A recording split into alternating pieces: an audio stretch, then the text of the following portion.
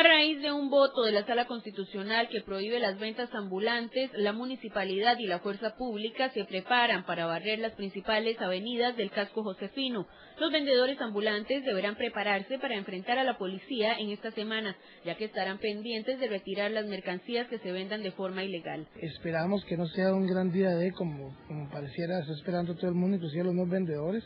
Eh, y hablo de un día de que esperen llevar, a, eh, que lleguen mil policías a tomar las calles a buscar enfrentamientos con nadie. Nosotros aquí básicamente vamos a hacer respetar un voto de la Sala Constitucional en donde exige el, respeto a derechos de otras personas, en este caso a los que protege la ley 7600, este, y nos corresponderá pues en, eh, apoyo a lo que hace la Policía Municipal eh, establecer las acciones correspondientes. La hora y el lugar exactos son inciertos.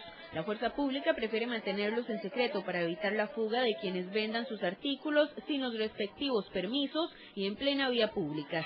Sin embargo, los vendedores ambulantes se manifestaron en contra del voto de la sala y marcharon hasta la Asamblea Legislativa para solicitarle a los diputados un lugar seguro en donde puedan vender sus productos.